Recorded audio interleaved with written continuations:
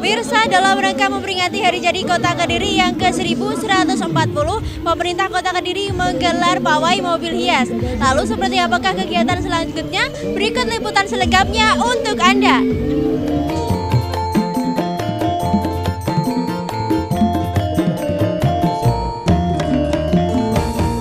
Beragam kegiatan digelar oleh pemerintah Kota Kediri dalam rangka hari jadinya yang ke-1140 tahun.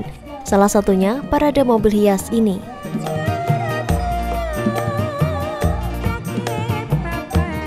Seperti inilah suasana di titik start parade mobil hias yang digelar pemerintah Kota Kediri melalui Dinas Kebudayaan, Pariwisata, Pemuda, dan Olahraga setempat.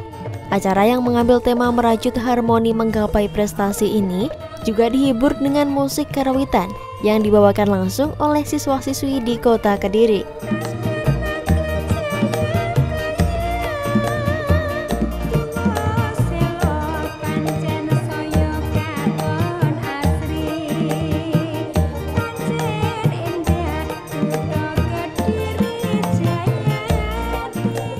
Acara yang digelar pada Minggu 4 Agustus 2019 kemarin dihadiri langsung oleh Wali Kota Kediri Abdullah Abu Bakar, jajaran Forkopimda Kota Kediri, serta sejumlah tamu undangan lainnya.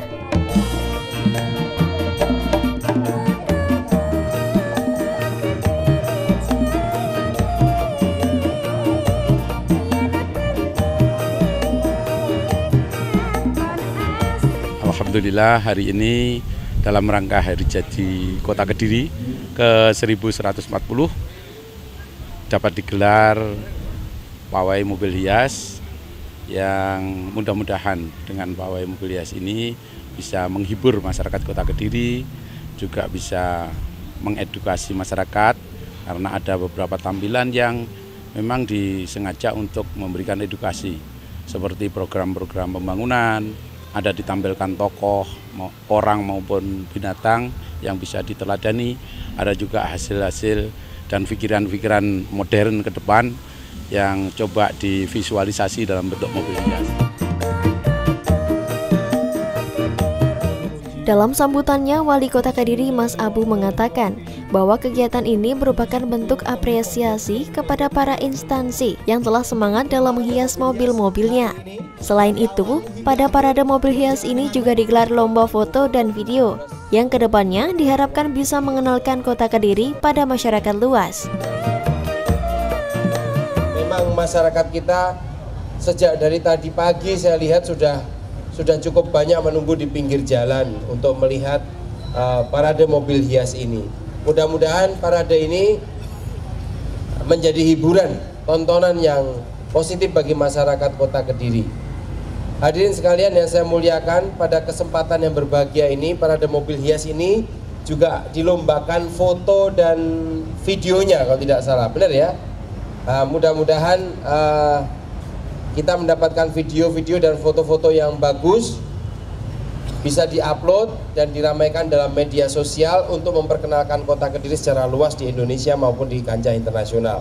Mudah-mudahan kegiatan ini membawa berkah bagi kita semua dan mudah-mudahan di ulang tahun yang ke-1140 mudah-mudahan kota Kediri semakin maju, semakin sukses, semakin dapat mensejahterakan masyarakat. Kira-kira itu yang bisa saya sampaikan. Saya mengucapkan terima kasih kepada seluruh peserta dan seluruh panitia yang telah bekerja keras untuk mengadakan acara ini. Sukses untuk kita semua, sukses untuk Kota Kediri. Assalamualaikum warahmatullahi wabarakatuh.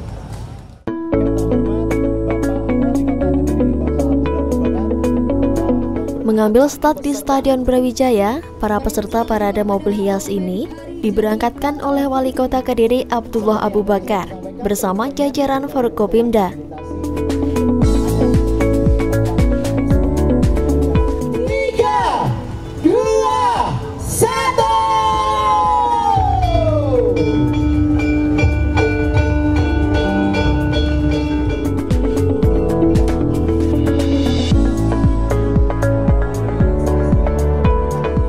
Usai diberangkatkan oleh wali kota Kediri, satu persatu peserta parade mobil hias pun berangkat. Perlu diketahui pemirsa, parade mobil hias yang digelar dalam rangka Hari Jadi Kota Kediri kali ini diikuti oleh puluhan kendaraan yang terdiri dari SKPD lingkup Pemkot Kediri, BUMD, BUMN, serta kalangan perusahaan swasta dan dari dunia pendidikan.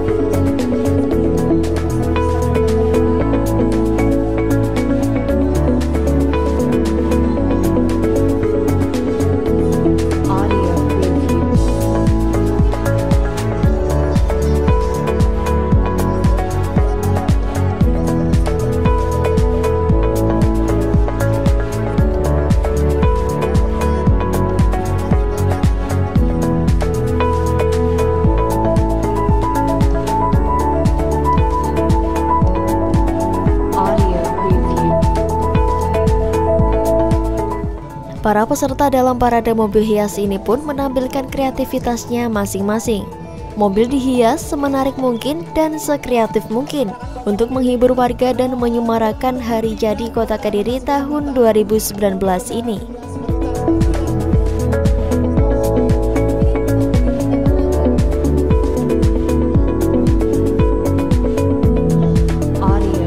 Pemirsa, rute yang dilewati dalam parade mobil hias ini pun cukup panjang mulai dari kawasan Stadion Brawijaya, kemudian lanjut mengarah ke alun-alun, jembatan Bandar Ngalim, menuju Terminal Tamanan, dilanjutkan hingga mengarah ke Bundaran Sekartaji, jembatan Brawijaya, hingga berakhir di Balai Kota Kediri, Jalan Basuki Rahmat.